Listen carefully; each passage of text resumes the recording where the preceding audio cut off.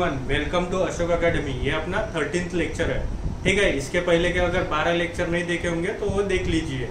तो चलो, शुरू करते हैं आज का वीडियो आज का टॉपिक है अपना phasor diagram of ideal transformer on load. इसके पहले के लेक्चर में अपन ने क्या देखा था? Ideal transformer on no load condition देखा था। ठीक है, अभी क्या देख रहे हैं? Ideal transformer on load. ठीक है तो देखो ये अपना ट्रांसफार्मर है।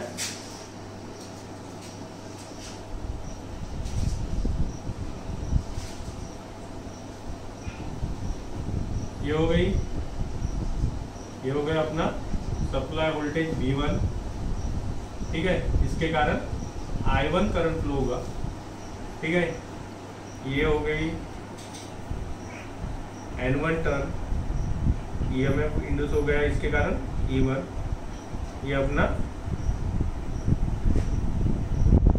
मेन फ्लक्स है फाई और अपन ने क्या किया इधर? सेकेंडरी साइड में लोड कनेक्ट किया है।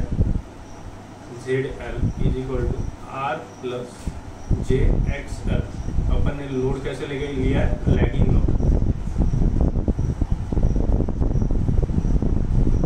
ठीक है यहाँ तक ठीक है ये है एन टू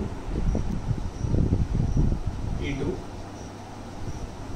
यहाँ पे आएगा वोल्टेज वी टू तो ये अपना ट्रांसफार्मर कैसे है? आइडियल ट्रांसफार्मर वही, और आइडियल ट्रांसफार्मर वही पिछले लेक्चर वाला ही है for ideal transformer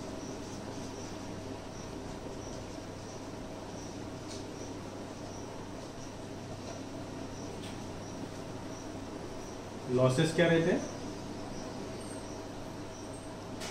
Losses zero R one R two क्या है? मतलब primary winding resistance secondary winding resistance कैसे? ज़ीरो ओम लीकेज फ्लक्स क्या है? लीकेज फ्लक्स क्या है? ज़ीरो ठीक है? तो देखो अभी क्या है? इधर अपन ने क्या किया है? लोड कनेक्ट किया है। ठीक है? इसके कारण इसमें से करंट फ्लो होगा, जो अपन ने इससे दिखा है आई टू से। ठीक है?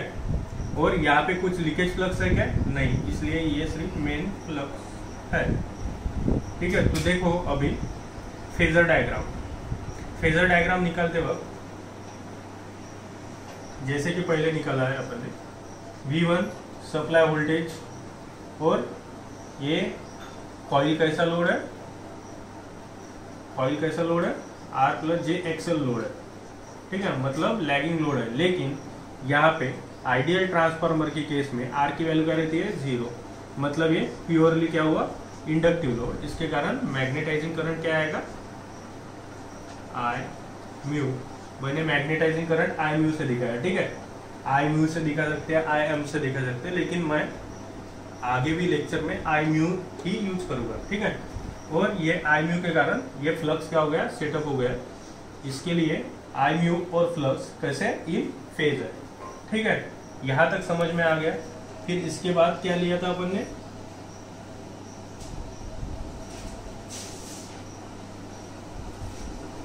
E1 और E2 with respect to flux क्या करते हैं? 90 डिग्री लैग करते हैं। पिछले लेक्चर में मैंने डिटेल में एक्सप्लेन किया था, ठीक है?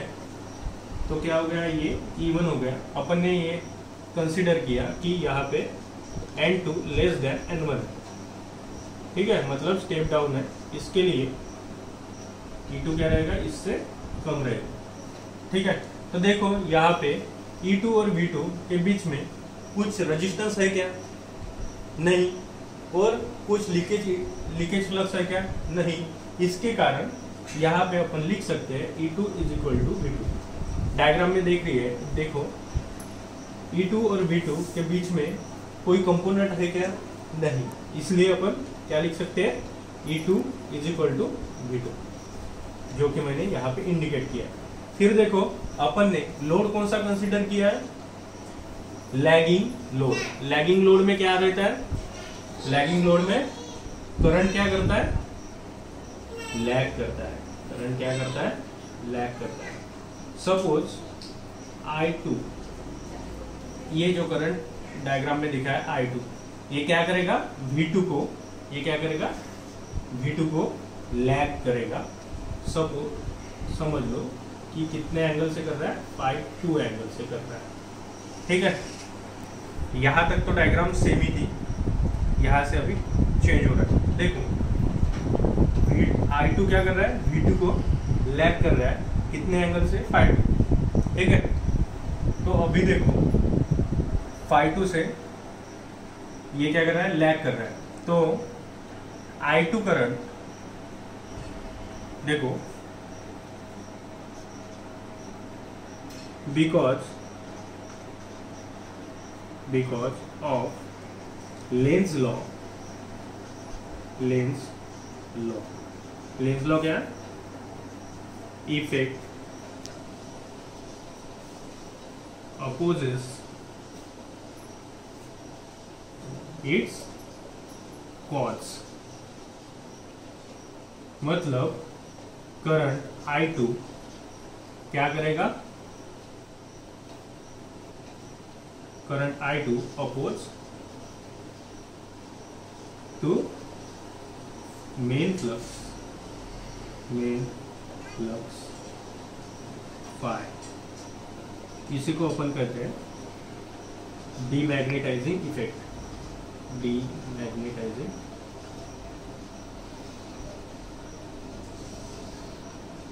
effect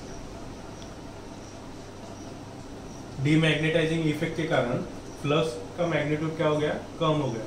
तो देयर फ्लक्स का मैग्नीट्यूड कम हो जाने के कारण E M F in primary E one is equal to अपने को क्या मालूम है? N one d phi by d t अगर फ्लक्स का ही मैग्नीट्यूड कम हो गया तो ई e वन का मैग्नीट्यूड क्या होगा? कम होगा।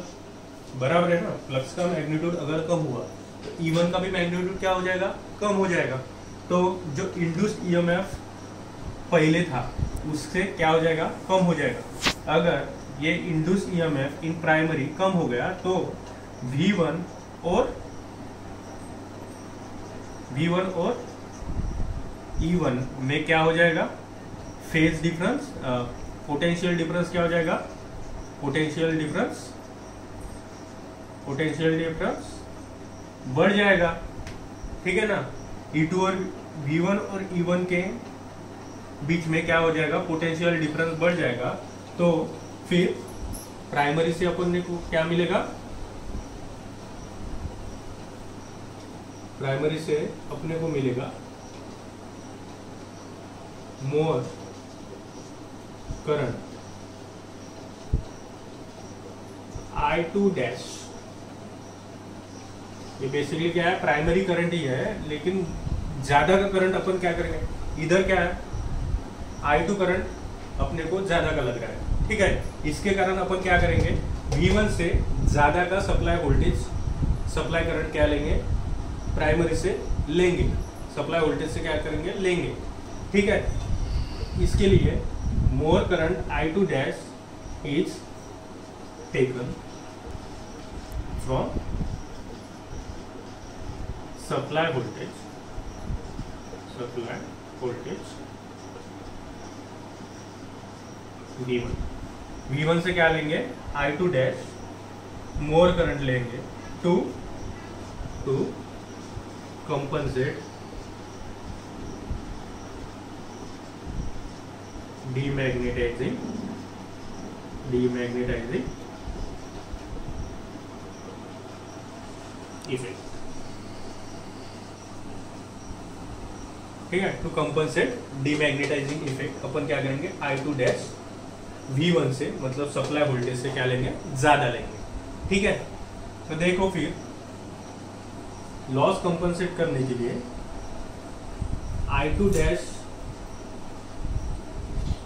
अभी आप, आपको प्राइमरी तो ट्रांसफॉर्मेशन रेशियो का फॉर्मूला मालूम है, K is equal to I one divided by I two is equal to N two divided by N one ये तो पता है ना?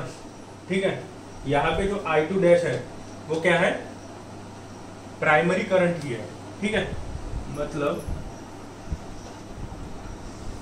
आई टू डैश क्या है? प्राइमरी करंट ठीक है, इससे अच्छा है, यहाँ पे लिख लो आई टू डैश ये है प्राइमरी प्राइमरी करंट कंपोनेंट क्योंकि यहाँ पे स्टूडेंट ये गलती करते हैं, क्योंकि यहाँ पे टू लगा है तो उनको लगता है कि ये क्या है सेकेंडरी करंट है। ऐसे नहीं है, ये I two dash primary current का क्या है कंपोनेंट है। ठीक है?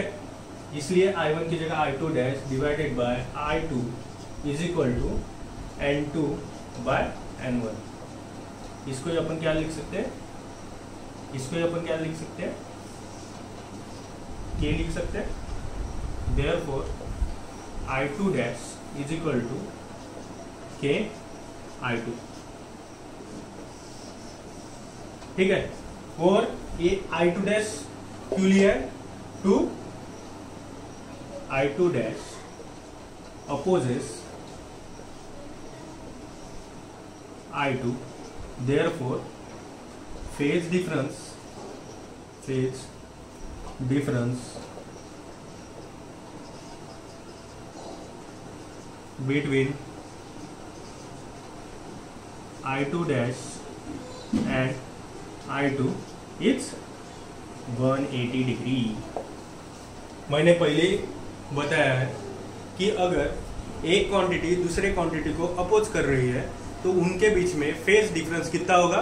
180 डिग्री ठीक है? इसलिए अपन आई टू डैश कैसे दिखाएँगे? ये क्या हो गया? अभी I two dash same magnitude जितना इसका जितना मैग्नीट्यूड रहेगा सेम मैग्नीट्यूड यहाँ पे आएगा। ठीक है? ये हो गया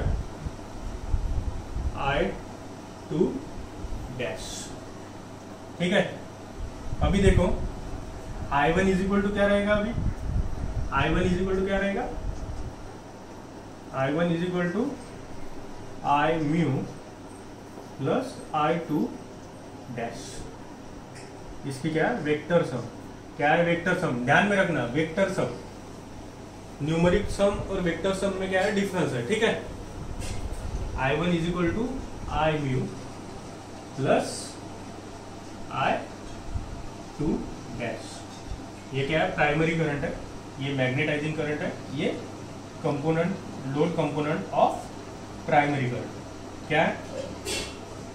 Where I one is I one primary current primary current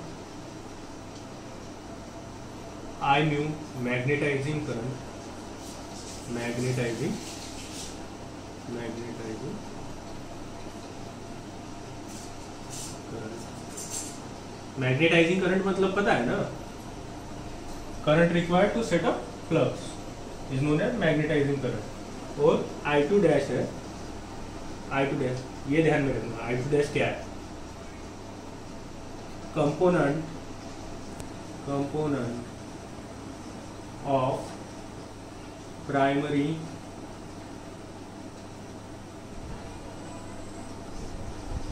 current load component of primary current load component of primary current ठीक है? अभी देखो अपने को क्या दिखाना है? आई वन दिखाना है। तो आई वन क्या है? Vector sum of I mu और आई टू तो करो। इसके पैरेलल लाइन निकलना है यहाँ से। ठीक है?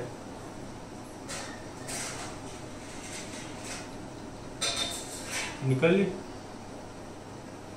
ये टच करके। यहाँ पे जो इसका रिजल्टेंट आएगा।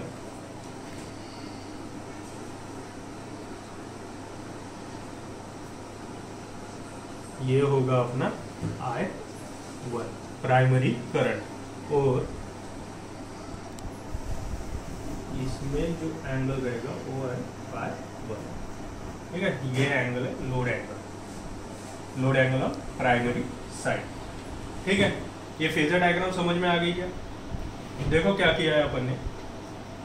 V1 अपना प्राइमरी अप्लाइड वोल्टेज है। ठीक है? आई म्यू हमेशा V1 से क्या रहेगा? 90 डिग्री लैग रहेगा। क्योंकि मैंने बता दिया, ये क्या है? आइडियल ट्रांसफॉर्मर है और आइडियल ट्रांसफॉर्मर में आर की वैल्यू क्या रहती है? ज़ीरो रहती है। ठीक है? और इसके बाद में ध्यान रखना कि आई म्यू वी वन पे विथ रिस्पेक्ट टू क्या रहता है? 90 डिग्री लैग रहता है। ठीक है? आई म्यू के कारण फ्लक्स प्रोड्यूस हो गया। ये आई म्यू और फाइव हमेशा कैसे रहेंगे? फ़ेज़ में रहेंगे। और ई वन और ई टू क्या है? Induce EMF in primary and secondary अपन ने क्या किया स्टेप डाउन कंसिडर किया, इसलिए ई टू यहाँ पे निकला। और यहाँ पे जैसे कि लोड कनेक्ट है, और अपन ने लोड का नेचर क्या लिया है लैगिंग लोड लिया है। इसके कारण आई टू क्या करेगा वी टू से लैग करेगा by load angle phi two ठीक है? फिर टू कंपनसेट आई टू क्या कर रहे हैं अपन? प्राइमरी से ज़्यादा का करंट क्या कर रहे हैं? डिमांड कर रहे हैं, वो आई टू डैश से इंडिकेट किया है, वो कैसे 180 डिग्री आउट ऑफ़ फ़ेज़ है। ठीक है? क्यों होता है आई टू क्या करेगा? फ्लक्स को अपोज करेगा। फ्लक्स फ्लक्स में डीमैग्नेटाइजिंग इफ़ेक्ट के कारण ईएमएफ जो प्राइमरी में प्रोड्यूस हो रहा था, उसका मैग्नीट्यूड क्या हो जाएगा? घट जाएगा। और V1 और E1 में अगर पोटेंशियल डिफरेंस ज़्यादा है तो करंट अपना क्या होगा? ज़्यादा फ्लो होगा। ठीक है? ये हो गया I2 और अपने को मालूम है primary current is vector sum of magnetising current plus load component of primary तो इसके कारण यहाँ पे क्या किया? सम किया और I1 निकाल लिया। ये जो एंगल V1 और I1 के बीच में एंगल है उसको क्या कहते हैं? अपन प्राइमरी लोड एंगल इसको क्या कहते हैं? V2 और I2 के बीच में secondary load angle okay friends that's it channel को लाइक सब्सक्राइब और शेयर करना ना भूलिए। ठीक है? घर में रहिए स्वस्थ रहिए। Thank you